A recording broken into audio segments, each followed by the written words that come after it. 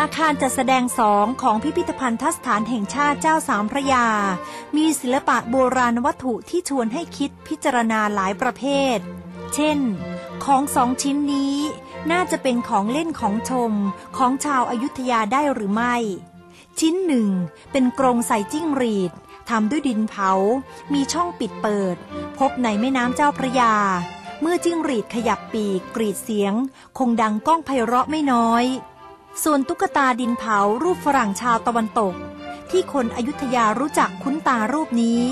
พบในบริเวณเมืองเก่าอายุทยา ที่น่าสนใจคือ มีสุนัขตัวหนึ่งในอ้อมแขน อีกตัวหนึ่งนั่งแงนอยู่เคียงข้าง ท่านผู้ชมคิดว่าเป็นฝรั่งชาติใด และทำไมพบเพียงชิ้นเดียว สนับสนุนโดย